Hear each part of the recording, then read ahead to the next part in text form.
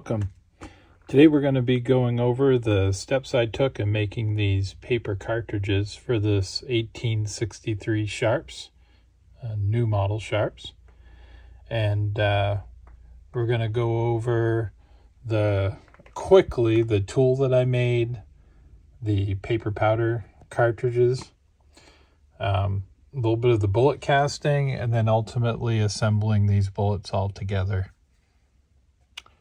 So, let's take a look at how we did it. We're going to start by throwing some lead into the pot and casting some 62 caliber Sharps bullets. We're using the Christmas tree style bullets for these paper cartridges. And we're also using pure lead.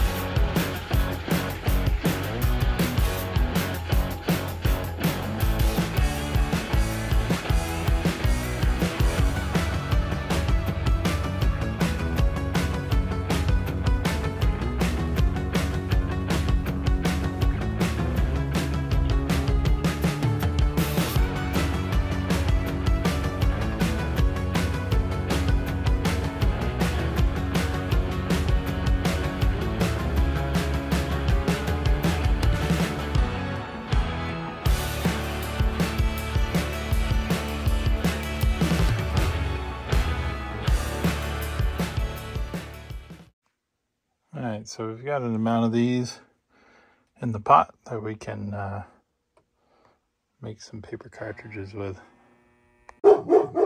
Okay, so we've got our bullets we cast, micrometer, some tracing paper, some cigarette. Rosie's going nuts. Some cigarette butts, butts, and uh, we need to make a mandrel.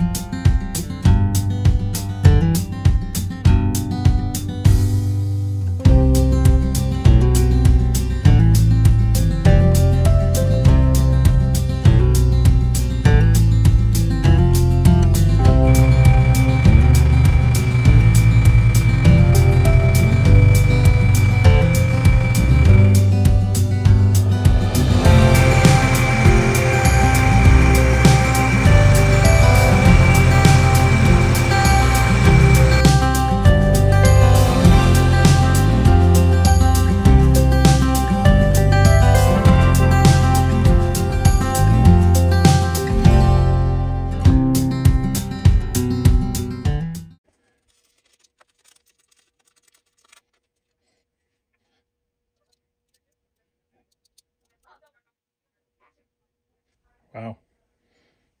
I actually think that's perfect. I formed a large cartridge blank and taped it to one of the bullets we cast. This will help us determine the depth of the chamber and we can, from that point, trim our mandrel to the proper length to size the cartridges. And it basically makes a gauge for us for the rest of the project.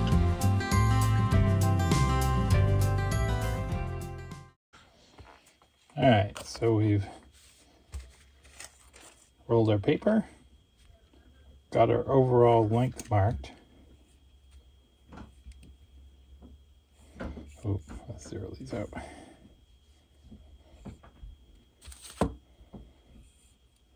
This will tell us our chamber depth, or at least our paper length that we need. So I got 1.376.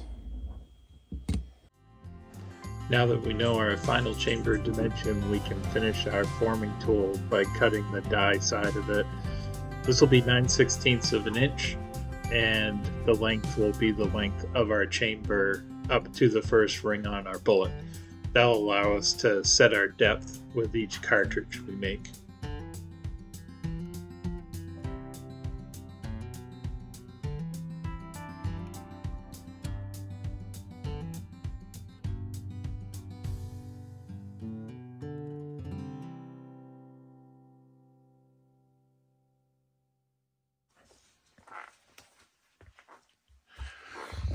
Okay, so this is what we turned out on our lathe.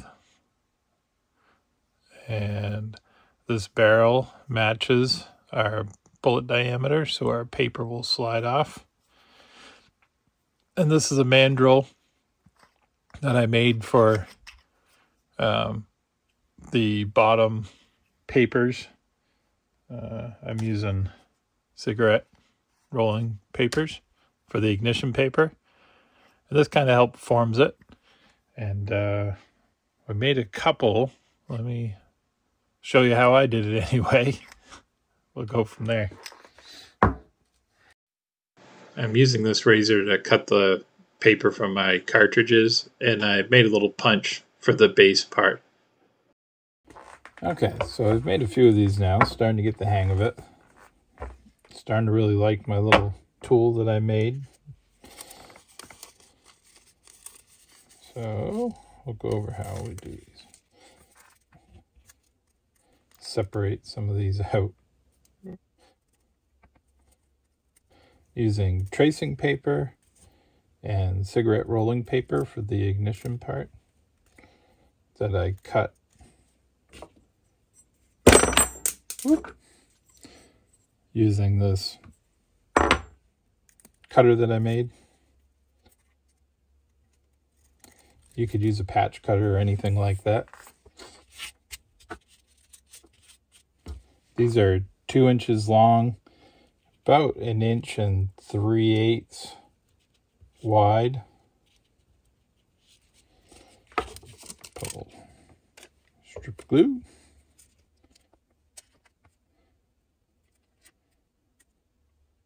Just wrap it around nice and tight Like that. This is a part that I do differently from some of the other people that I've seen that do it. and I'll put some notes of the YouTube videos that I watched before making this little device. A lot of good information out there. And thank you to them for posting their videos and, you know, gives us all great ideas and so we can do stuff like this. But I made this mandrel here. I just punch that through there. And then I roll this around and it kind of burnishes the edges of that. And keeps everything nice and flat. Like so. You can go and touch it. Actually had to drill a hole through here because it was the suction was so tight that it was com collapsing my cups. Just like that. All right, our shot cups are all dry. And um, the dimension I made this is also the same as the chamber dimension up to the first ring. So that's kind of my overall chamber length is to make sure when this is done that that ring is flush with the ridge here. so let's grab a cup. And I like to stick them right back in there. And we'll put in our powder.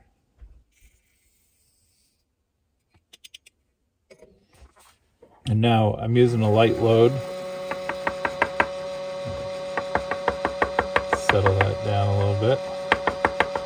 So I'm using a cream of wheat filler.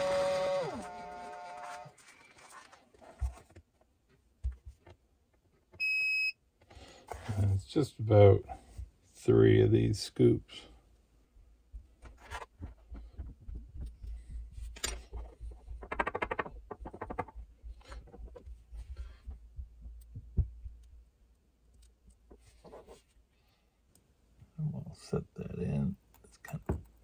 push it down a little bit. You can do that because it has this for a structure to hold it. Take that off. And I use just a couple drops of super glue and it kind of has a wicking motion. And you can see where it wets the paper around the lip when you put it in there.